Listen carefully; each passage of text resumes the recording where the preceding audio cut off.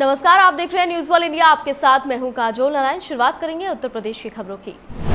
बरेली में कोरोना से लगातार मौतों का सिलसिला बढ़ता जा रहा है, जिसके चलते अब शव जलाने के लिए शमशान भूमि पर जगह कम पड़ गई है। तो वहीं आज शमशान भूमि पर दो मृतकों के परिजनों में आपस में मारपिटाई हो गई। कारण था अपने अपने मृतकों के शव दाह संस्कार करने के लिए चुनी हुई जगह का।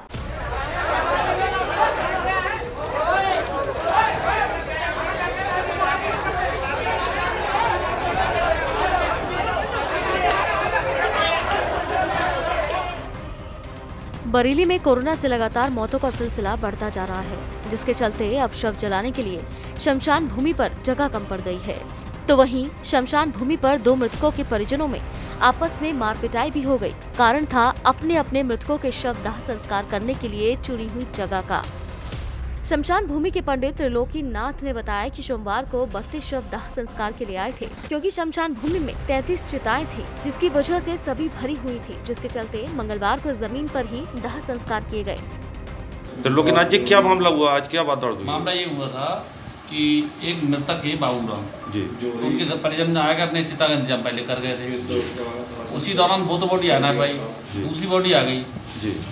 उनका नाम था मृतक विकास जौहरी। जी। उनने उनकी जो चिता बाबूराम की इंतज़ाम करके गए थे उस पर चिता पे चिता लगा दी लकड़ी वगैरह उनकी ले ली। जब वो बॉडी लेके आए तो वो नाराज़ हो गए जानकारी के मुताबिक 19 शव आ चुके थे जबकि अभी दिन बाकी था। शमशान भूमि के सेवक कन्हैया लाल ने बताया कि 17 नंबर पर कालीबाड़ी में रहने वाले मृतक बाबूराम के नाम से कौशल ने ज़मीन बुक करा रखी थी, जिस पर मठ लक्ष्मीपुर के रहने वाले मृतक विकास जौहरी के परिजनों ने विकास केशव का दाह संस्कार कर दिया। जिसके बाद जब कालीबाड़ी के लोग बाबूराम का शव लेकर शमशान पहुँचे तो वो 22 नंबर पर बाबूराम का दाह संस्कार करने लगे, जबकि वो सानिया में रहने वाले किसी मृतक के लिए बुक था। बाबूराम के परिजनों का कहना था की जब हमारी बुक की हुई जगह आरोप दूसरे ने दाह संस्कार कर दिया तो हम भी दूसरी जगह पर ही करेंगे। इसी बात को लेकर दोनों मृतकों के परिजनों से में बात इतनी बढ़ गई कि आपस में लाठियाँ चलने लगी। सोशल मीडिया पर एक वीडियो वायरल हो रहा है। उक्त वीडियो जब हमारे संज्ञान में आया, उस वीडियो की हमने जाँच कराई। तो पता लगा कि थाना सुभाष नगर में एक संस्थान भूमि है। वहाँ पर दाह संस्कार को लेकर एक थोड़ी सी कोई कन्फ्यूज़न हो गई थी। हमने उसको जब पता लगाया तो पता लगा कि एक व्यक्ति हैं जो कि काली बाड़ी थाना बारादरी के रहने वाले उनकी मृत्यु हो गई थी। उनके परिजन वहाँ पे दाह संस्कार करने के लिए लाए थे। उन्होंने चिता का इंतज़ाम कर रखा था। एक दूसरे व्यक्ति हैं जो थाना इज़्ज़त नगर के रहने वाले हैं। उनकी मृत्यु हो गई तो उनके परिजन भी वहाँ पर दाह संस्कार के लिए लाए थे। तो उनकी चिता पर इन्होंने अपना शव रख दिया और दाह संस्कार कर दिया। इसी बात को लेकर थोड़ी सी कन्फ्यूज़न हो गई थी। तो थोड़ी कहा सुनी वहाँ पर मौके पर हो गई। दोनों पक्षों ने आपस में सुलह समझौता कर लिया कि कोई विवाद की स्थिति नहीं थी के दम पे बात हो गई। नौबत आ गई मारपिटाई की। सूचना मिलते ही मौके पर मणिनाथ चौकी की पुलिस पहुँची और चौकी इंचार्ज प्रदीप कुमार भी मौके पर पहुँचे, लोगों को समझाया बुझाया जिसके बाद मामला शांत हुआ। फिरोजाबाद में मास्क न लगाने वालों के खिलाफ टूंडला एसडीएम का अनोखा अभियान देखने के लिए मिला है, जहाँ पर मैं कोरोना बढ़ाने में पूरा योगदान दे रहा हूँ या दे रही हूँ, लिखे हुए पैम्पलेट के साथ लोगों की फ़ोटो खिंचवाई गई। मास्क ना लगाने वालों को उनकी ही नज़रों में शर्मिंदगी महसूस कराने को लेकर यह बेहतर कदम उठाया गया।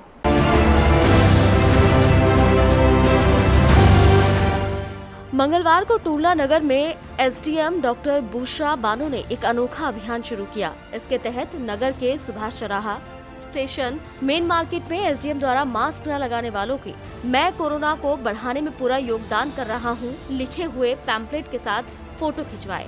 महिलाओं को दिए मास्क, एसडीएम ने बताया कि लोगों को अपनी ही नज़रों में शर्मिंदगी महसूस होनी चाहिए कि उन्होंने कितनी बड़ी गलती की है और कितनी बड़ी गलती वो कर रहे हैं। केवल इसी उद्देश्य के साथ ये अभियान चलाया गया और लोगों को जागरूक भी किया गया। वहीं लोगों से कहा गया कि वो मास्क ज़रूर लगाएँ, बिना मास्क लगाए घरों से बाहर ना निकले। बाइट लगाएँ डॉक्टर बुशरो बानो एसडीएम टोला इसके साथ ही जो दुकानदार बिना मास्क लगाकर ग्राहकों को सामान दे रहे हैं या दो गज की दूरी का पालन नहीं कर रहे हैं, उनको नोटिस भेजकर कार्रवाई भी की जा रही है। फिरोजाबाद से Kishan Chand, news one India. Mathura में रेलवे की पटरियों और पेट्रोल क्लिप चोरी की आरपीएफ को लगातार सूचनाएँ मिल रही थी, जिसके आधार पर आरपीएफ पुलिस ने छापेमारी कर बड़ी तादाद में पेट्रोल क्लिप और अदद पटरियाँ बरामद की हैं। वहीं आरपीएफ छावनी ने एक कबाड़ी सहित चार लोगों को गिरफ़्तार कर जेल भेज दिया है। बताया जा रहा है कि आरोपी नशे के आदि थे और नशे की तलब को कम करने के लिए रेलवे के सामने चोरी किया करते थे। मथुरा छावनी आरपीएफ पुलिस को बड़ी सफलता हाथ लगी। आरपीएफ पुलिस ने कबाड़ी सहित चार ऐसे अभियुक्तों को गिरफ़्तार किया, जो रेलवे की पेंड्रॉल क्लिप और पटरियों को चोरी कर फरार हो जाते थे। आरपीएफ छावनी पुलिस ने दर्जनों पेट्रोल क्लिप और दो अद्दा पटरियों को इनके कब्जे से बरामद किया है। वहीं मामले की जानकारी देते हुए छावनी आरपीएफ थाना प्रभारी चेत्रा मीना ने बताया कि भोला थाना मुरसान निवासी हाथरस। नितिन थाना, मुरसान निवासी हाथरस और राजकुमार थाना, मुरसान निवासी हाथरस। नशे के आदि हैं और पिछले कई महीनों से रेलवे के विभिन्न सामान को चुरा कर ले जाते हैं। चोरी की सूचना विगत कई महीनों से मिल रही थी। मुखबिर की सूचना पर छापेमारी कर कार्रवाई की गई। तो तीनों के अलावा कबाड़ी, मोहन थाना, मुरसान जिला हाथरस, जो कि इनसे चोरी का सामान खरीदता था, उन्हें गिरफ़्तार कर लिया गया है। फ़िलहाल कार्रवाई की जा रही है। मुरसान रेलवे स्टेशन के पास से रेलवे संपत्ति चोरी होने की सूचना मिली थी जिस पर हमने चार आदमियों को गिरफ़्तार किया है जिनमें तीन माल को बेचने वाले थे और एक खरीदने वाला है।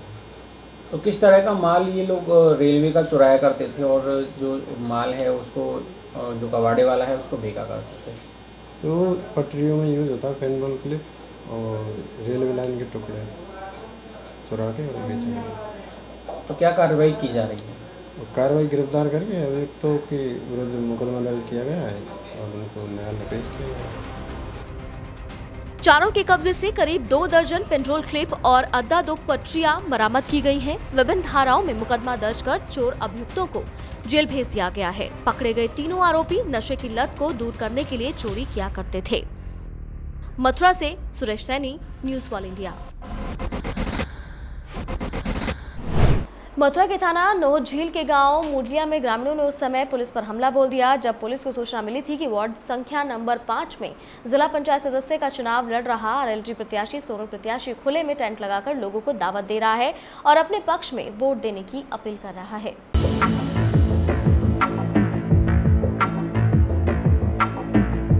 मथुरा के थाना नौझील के गाँव मुलिया में ग्रामीणों ने उस समय पुलिस पर हमला बोल दिया, जब पुलिस को सूचना मिली थी कि वार्ड नंबर पाँच से जिला पंचायत सदस्य का चुनाव लड़ रहा आरएलजी प्रत्याशी सोनू प्रधान खुले में टेंट लगाकर लोगों को दावत दे रहा है और अपने पक्ष में वोट देने की अपील कर रहा है। जिसके बाद सूचना मिलने के साथ ही इंस्पेक्टर नोजी लोकेश भाटी अपनी टीम के साथ मौके पर पहुँच गए और बताया जा रहा है कि पहले तो सोनू चौधरी और उनके समर्थकों की पुलिस से कहासुनी हो गई और बाद में समर्थकों ने पुलिस कर्मियों की संख्या कम देखते हुए मौके पर पथराव कर दिया। पथराव होते ही मौके पर भगदड़ मच गई और समर्थकों द्वारा किए गए हमले में इंस्पेक्टर घायल हो गए, जिसके बाद हमले के दौरान पुलिस कर्मियों ने वहाँ से भागकर जान बचाई।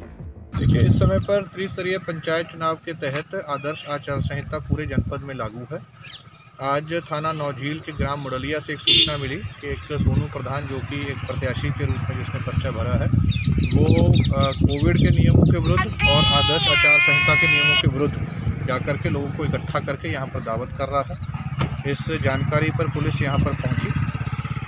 इनको इस बारे में हिदायत दी गई, परंतु इनके द्वारा हिदायत ना मानते हुए पुलिस का विरोध किया गया, अभद्रता की गई और कुछ पथराव भी किया गया है।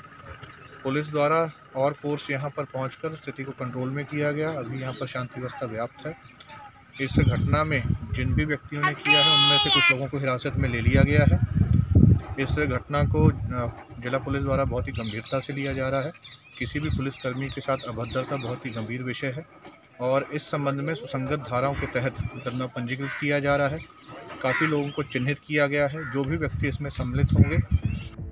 बाद में सूचना पर कई थानों की फोर्स मौके पर पहुँची। एएसपी के नेतृत्व में गाँव में अब आरोपियों की धरपकड़ शुरू हो गई है। वहीं घटना की जानकारी होने पर एसएसपी गौरव ग्रोबर भी मौके के लिए रवाना हो गए और बताया जा रहा है कि पुलिस ने इस मामले में कुछ लोगों को हिरासत में लिया है और घटना के अन्य आरोपियों की तलाश में दबिश देकर उनकी गिरफ्तारी की कोशिश लगातार जारी है। मथुरा से Suresh Saini, news one India. UP की खबरों में फ़िलहाल के लिए इतना ही। आप बने रहिए न्यूज़ वाल इंडिया के साथ।